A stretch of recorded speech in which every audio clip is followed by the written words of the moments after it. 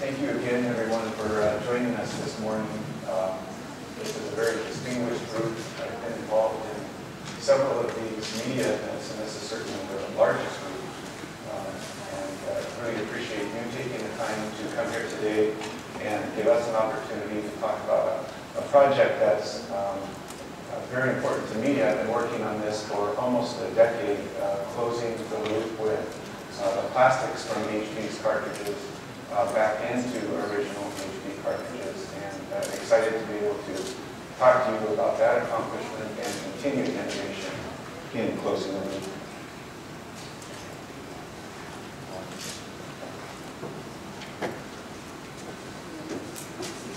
I'm also honored today to be sharing in this presentation uh, with my good friend and uh, and excellent partner of HP, Jean-Luc Lavergne, uh, the president and CEO of the Lavergne Group and and founder of this company.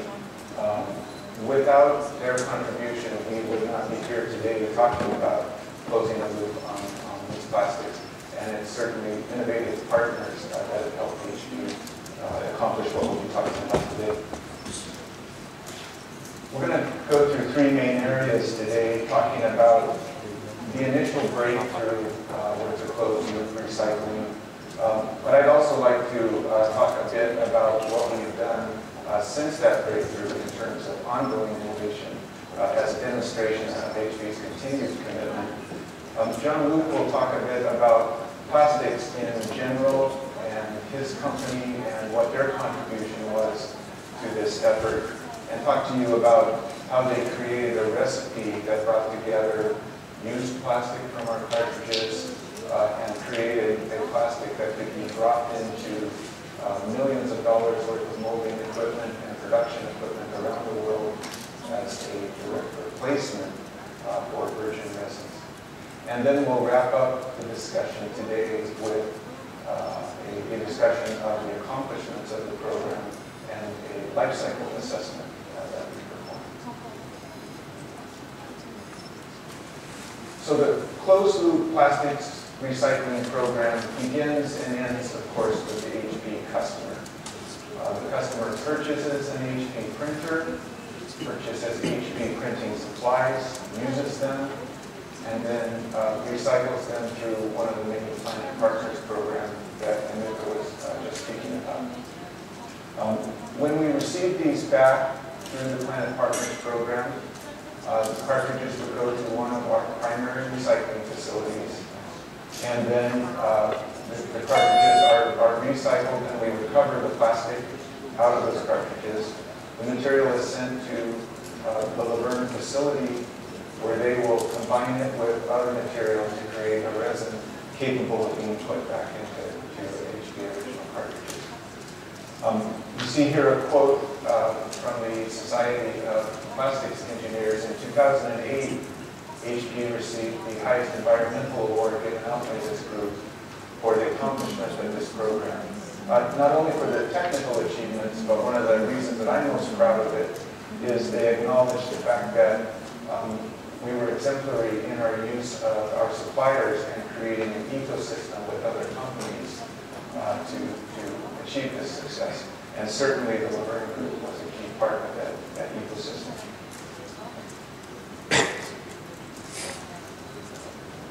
So it would be easy in a 30 or 40 minute presentation to give you the impression that this effort was uh, obvious from the outset, that the solution was easy and uh, that there were no, no issues.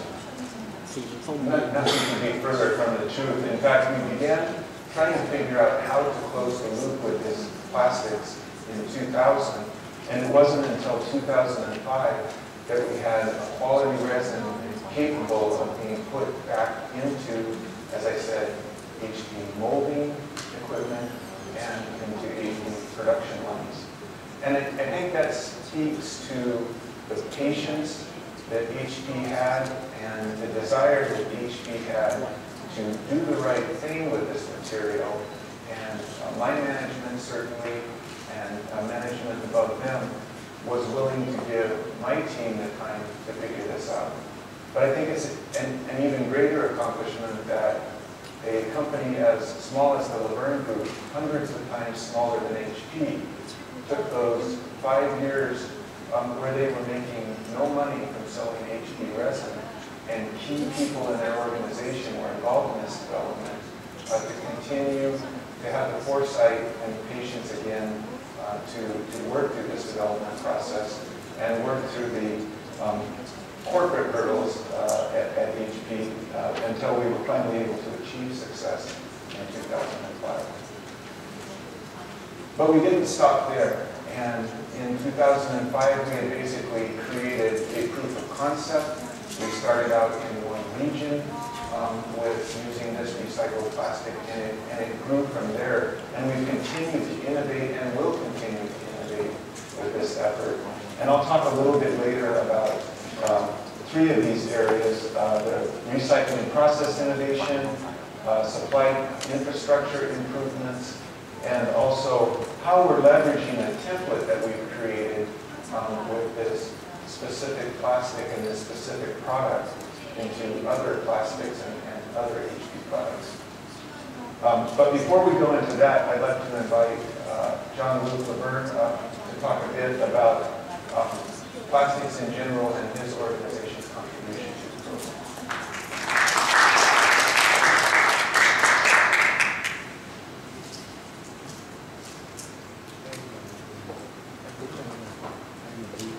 Thank you, Dean, so much. Thank you, Dean, so much for uh, great introductions and all the uh, words about us. We're quite happy and quite excited to participate in something like this because although we have many customers, it's rare that customers come and show the extent and even bring suppliers like they do, they do here for, for, uh, for us. Uh, what I'd like to do just before I get into this is just explain to you briefly who the Lavergne Group is. We've been in business since 1985. We are specializing in decontamination of plastics. So what we do, we have developed technology that allows us to take polymer in different forms and then make a product viable for sophisticated application license parts. Not only that, we've also developed the chemical and mechanical compounding so that allows us to also meet those specifications uh, day in and day out.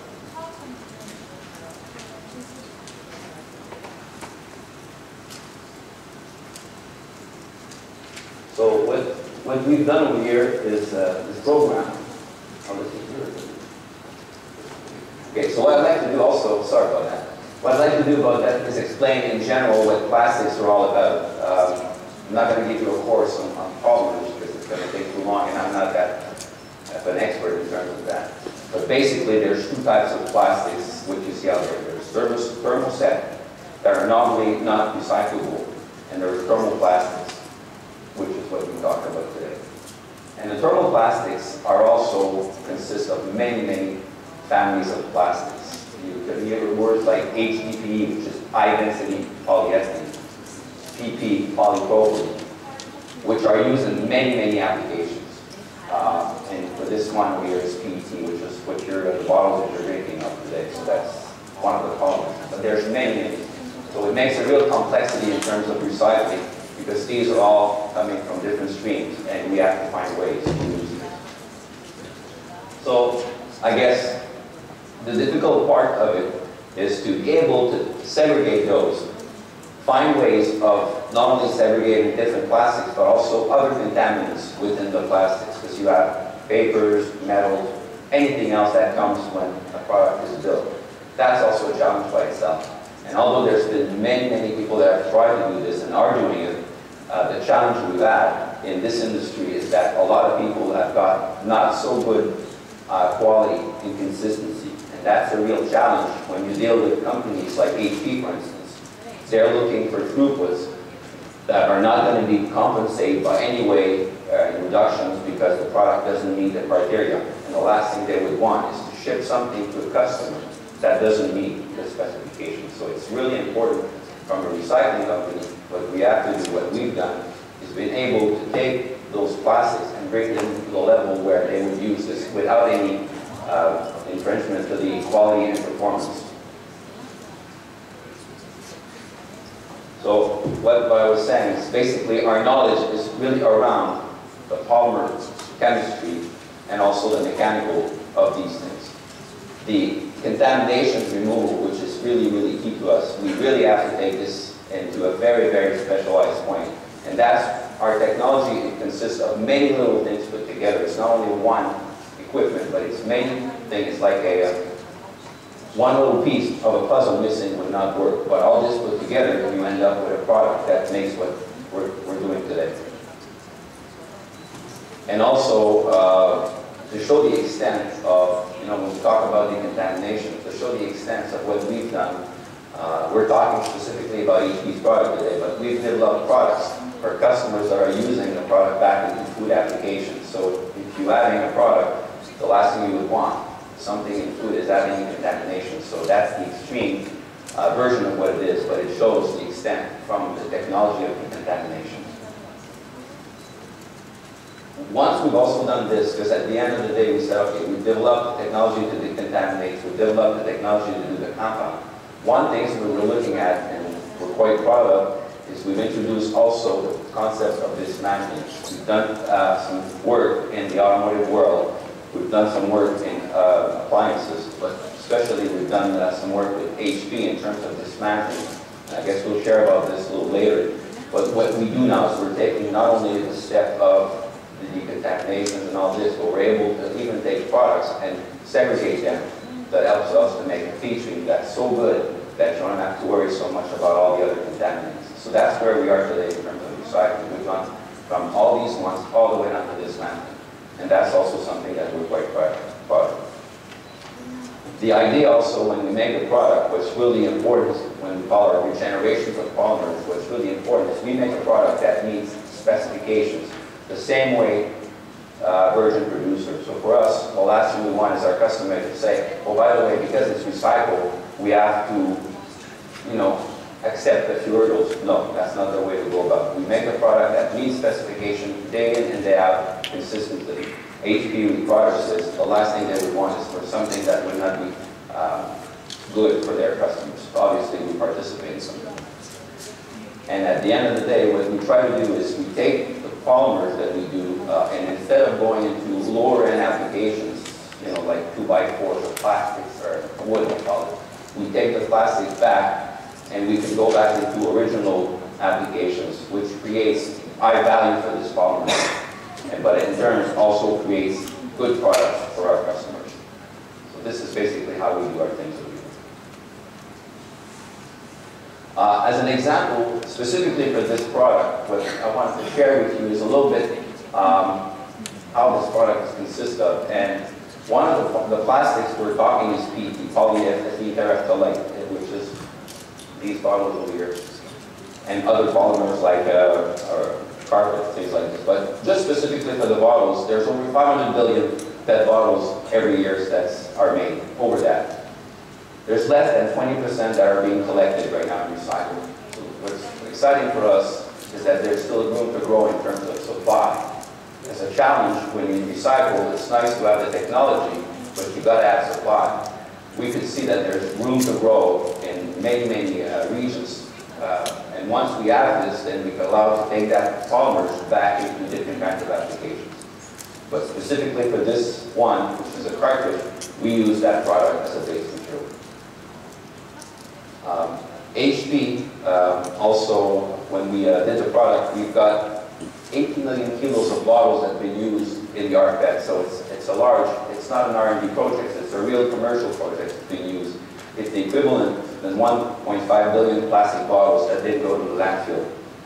So this is one of the things that's really important, and we've done this, you know, locally, and we'd like to expand this thing. What we do is we upcycle the bottle. The bottle goes into a very high sophisticated application. So, you know, this makes the cartridge. So that's something that we were able to develop. What's the recipe?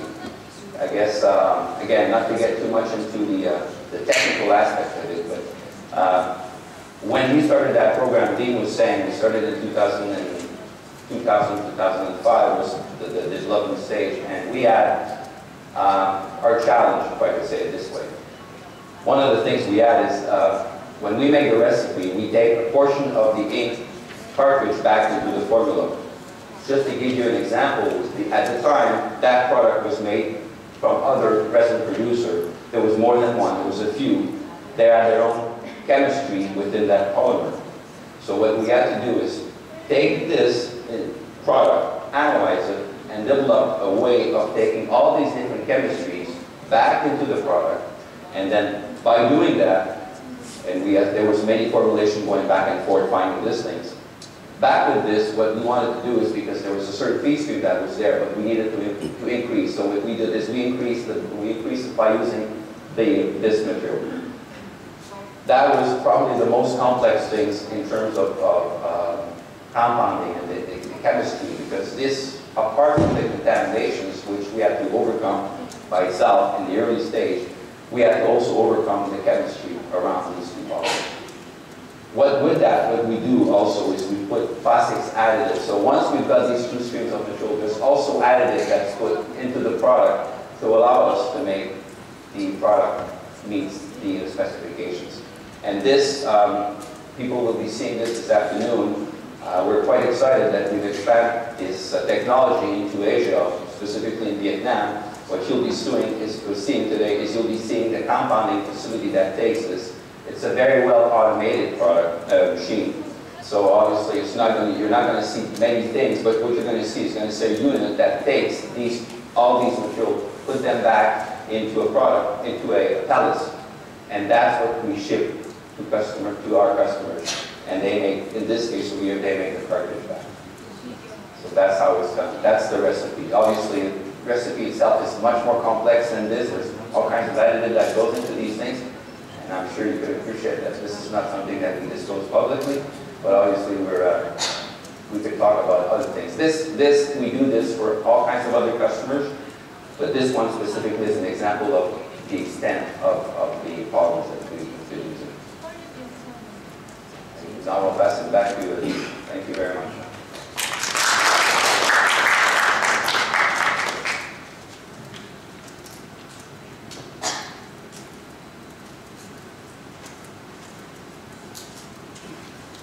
Thank you, Jean-Luc. Um, I'll, I'll let you in on a little secret. The uh, partnership with Lavergne extends beyond just uh, uh, a normal business partnership. I, I showed up event without a tie, having forgot to uh, pack a tie, and Jean-Luc was nice enough to uh, loan me one of his. So uh, the partnership extends just beyond the, the business work. So Jean-Luc uh, was just talking about the initial innovation, uh, what was required to create a recipe that brought used plastic from bottles, used plastic from HP cartridges, and created a resin that could go back into new original cartridges. Um, and that certainly was an industry breakthrough and, and an exciting innovation. Um, but we've not stopped there, and we've continued uh, the innovation. And I'd like to talk to you about three additional areas where we've refined this process uh, and, and to continue to improve. The first innovation is around the recycling process itself. Uh, when HP began this effort, um, we needed equipment that was capable of recycling many different types of cartridges. So we needed very flexible equipment um, that was capable of, of recycling many, many types of cartridges, many types of plastic. And so what was developed and was actually a patented process um, was a shredding of the cartridges that sorts the material out into its various streams. And so we'll get a plastic-rich uh, stream, we'll get some metal-rich streams, and, and some other streams. Um, but as you can imagine, if you shred the cartridges, creating clean material from that plastic-rich stream is, is difficult. And we have yield losses that we were okay with at the start as we were trying to prove that we could but it was something that we certainly wanted to improve going forward. And about five years ago, Jean-Luc and I after having gotten our original success with the closed-loop plastic, we're sitting down one evening talking about where we wanted to take this program going forward. And the thing that bothered us the most about what we were doing uh, at that time was the plastic that we were losing through the, through the current process.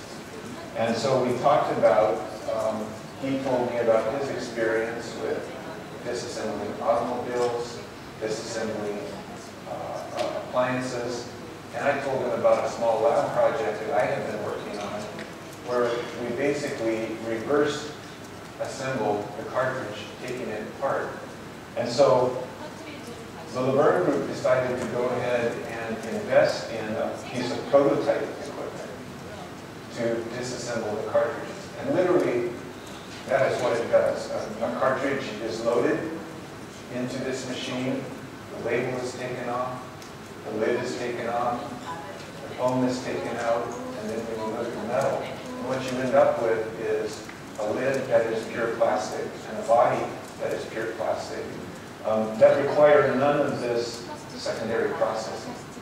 And so some of the benefits that we learned uh, from the prototype machine, which is in the Burns facility in Montreal, Canada, was that we can increase our plastic recovery uh, from the 60% uh, that we were currently experiencing to 90% plastic recovery. It also enables us to reduce the number of processing nodes. So back over on the original process, after we recover the plastic, we need to send it on for further refining remove contaminants from it. When we do the disassembly, uh, we get plastic that's clean enough that it can go directly from the primary recycling location to the Lavergne facility.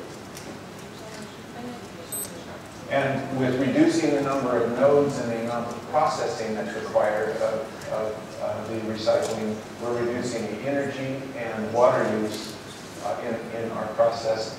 And because we're disassembling the cartridges, there's the potential that parts of the cartridge which today have no value, such as the foam and the recovered ink, um, there is the potential that we can have development projects to figure out uh, ways to recycle those. Now, to, to be clear, today we do not have solutions for the foam or the recovered ink, um, but this, this process uh, enables the potential for, for that to happen, and it's something that we're currently looking at. And pleased to announce today that uh, actually, after going through this uh, pilot process uh, with uh, Lavergne, HP management team decided to invest in disassembly equipment. And today in uh, Tennessee, they'll be installing the first production version of this tool.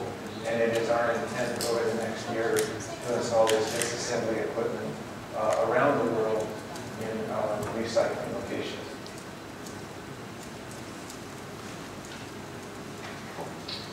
The second area that we're looking to uh, improve and innovate and find uh, increased efficiency is in our closed loop infrastructure.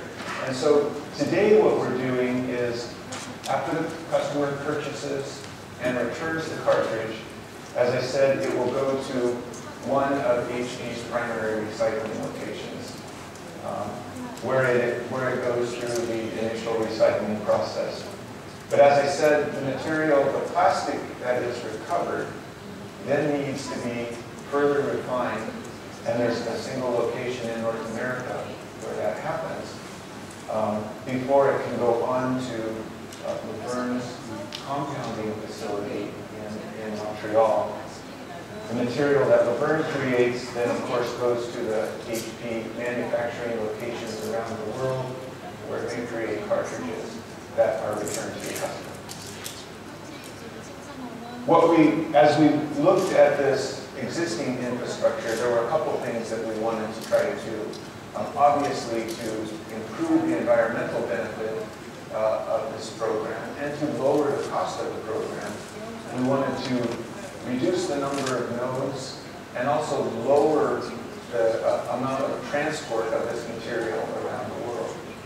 Um, Now, that's not as easy as you would think when we have um, differences between where we manufacture um, HP cartridges and where many of our markets are. So there's no way that we will ever be able to do away with movement of this material in, in some ways, but we can certainly work to uh, limit and uh, eliminate some of, some of the wasted transport of material. And so beginning with the opening of this Lavergne facility, we're now moving to an infrastructure which again begins with the customer, has the material going to um, our primary recycling locations. Again, again, as I mentioned, rather than the material being shredded at these locations, we will be disassembling the cartridges, which means they will not have to go to that secondary refining, but they, they can go directly to compounding locations, um, the Lavergne compounding locations. Now you see here, um, as you're going to see today, that Lavergne has expanded from their Montreal facility and um, is, is now in- including a Vietnam location, which is really exciting for HP. Um, There's business continuity benefits, there's benefits associated with uh, this, these facilities being close to uh, manufacturing in Asia Pacific. Just a lot of really good reasons uh, for why we're excited about this uh, facility that Lavergne's opening in Vietnam. And then from these two compounding locations, um, we will work with Lavergne to figure out what is the mix of material that will flow to the various HP manufacturing locations. And we'll develop that over the next few years. It won't be completely localized. As I said, there will be some material that will need to be shipped. Um, But as much as we can, we want to minimize the shipment of material and and maximize uh, the amount of environmental benefit we get out of this program. We'll finish again with uh, cartridges being made at our facilities and and- sent to the customer. So the last uh, innovation that I'd like to talk to you about is what HP has done to take the template of this closing the loop, reusing the plastic. What we've done to um, take that template and apply it to other plastics. So as Jean-Luc mentioned, um, we, we were working here primarily with PET plastic originally. Um, So expanding this closed loop solution to polypropylene, which is another plastic that HP uses in their supplies. And also expanding uh, this template into hardware material that we recover from our recycling locations around the world. And so with regards to expanding into other plastics, we actually have had a breakthrough um, with cartridges being uh, successfully recovered out of polypropylene cartridges and put back into HP cartridges. Small numbers, um, but again, the PET program started with smaller numbers uh, at the outset and and grew. And we're currently working with Lavergne on a similar development program with polypropylene to what we were doing PET. Now, you'll remember Jean-Luc talked about us getting bottle material, PET bottle material, which was very opportune uh, with the PET program because it gave us a stream of material that we could merge with HP cartridges. The real struggle with polypropylene is for us to find a stream of quality polypropylene that we can merge our recovered cartridge material with. And we're working with Lavergne on, on identifying some of those streams, and in some cases, creating new streams where none exist today. So a lot of, of plastics recycling is about creating markets so that innovators will go out there and figure out ways to sort, separate, and capture. If no one wants to use recycled polypropylene, which has, has not been the case in the past, then there's, then there's no good uh, streams of that material today. And so that is what we're, we're working on with, with Lavergne. And we expect a breakthrough uh, by next year in in this area. We're also working with Lavergne on um, our hardware product plastics. And there's a number of other issues related to hardware products. Um, Generally, um, in, in a printer, for instance, there'll be multiple plastics. Um, Sorting of the, of the uh, incoming materials is very important. Um, And there's other issues, but we're working with Lavergne to create closed-loop solutions in the hardware. And again, uh, by this time next year, I'm I'm certain that we'll be talking about uh, success in in that area as well. So again, taking the template of the recycle PET program and expanding it out um, in a couple of these areas, development efforts, no success to report yet, but um, I- I'm certain that uh, we're going to make that progress.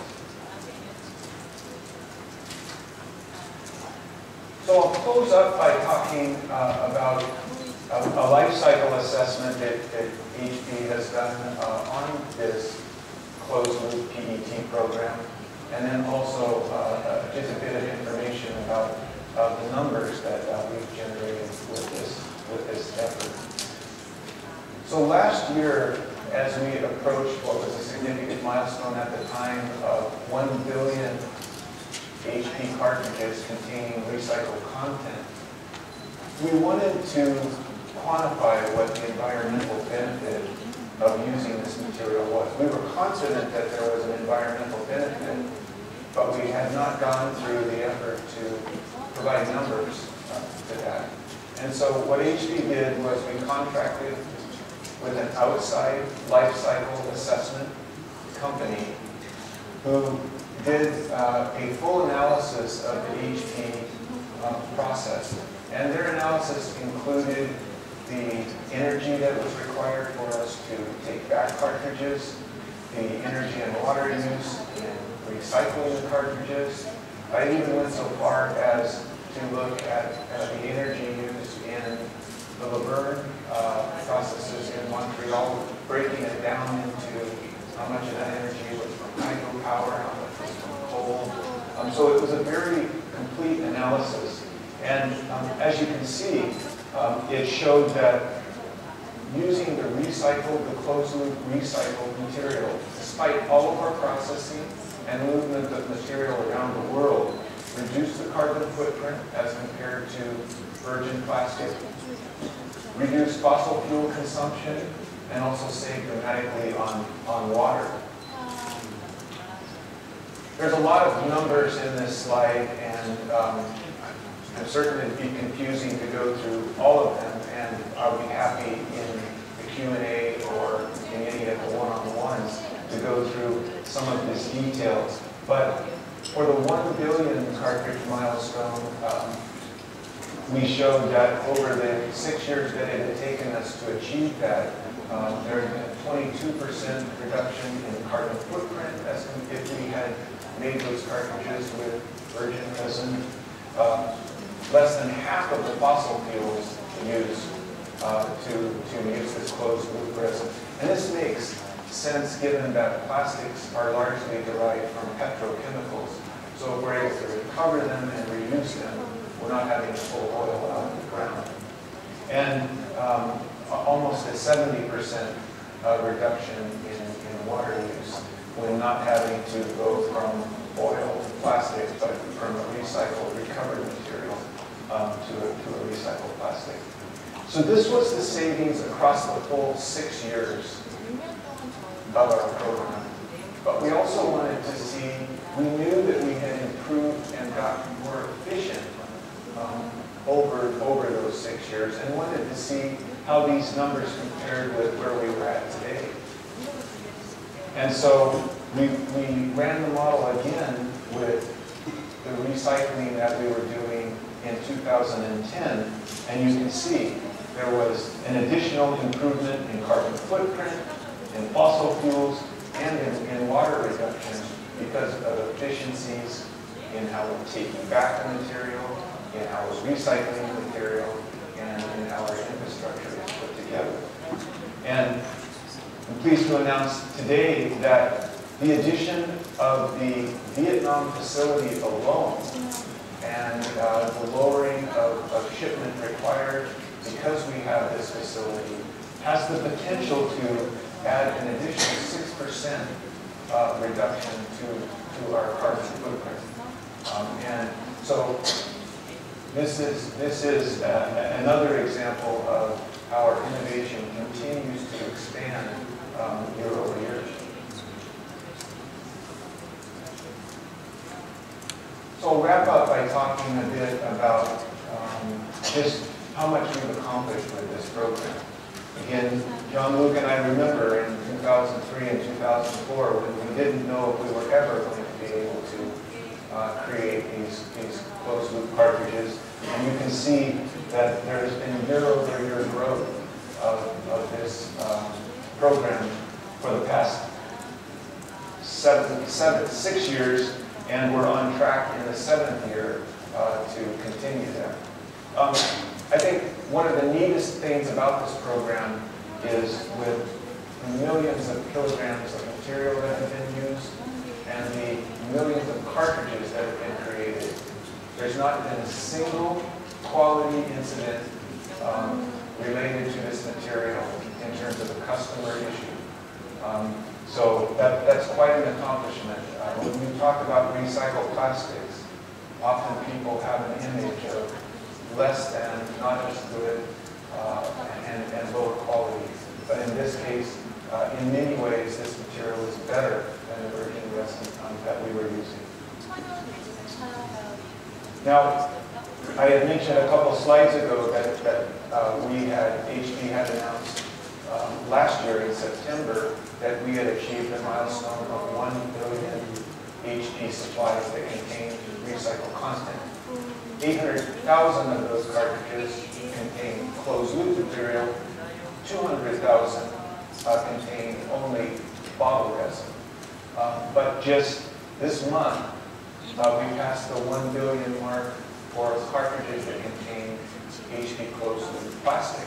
Our total is now 1.2 billion recycled content cartridges, but uh, one, excuse me, but 1 billion of those have been made with material from the Lavergne process. Um, quite an achievement, and uh, just passed this month. So I, I guess I'd like to just wrap up by going back to uh, Anuka's discussion about um, HP's environmental commitment, um, beginning with um, the HP founders, Bill and Dave. And, and uh, Jean-Luc and I getting this opportunity to tell you about this program uh, could give you the impression that, that we were the primary people who accomplished this.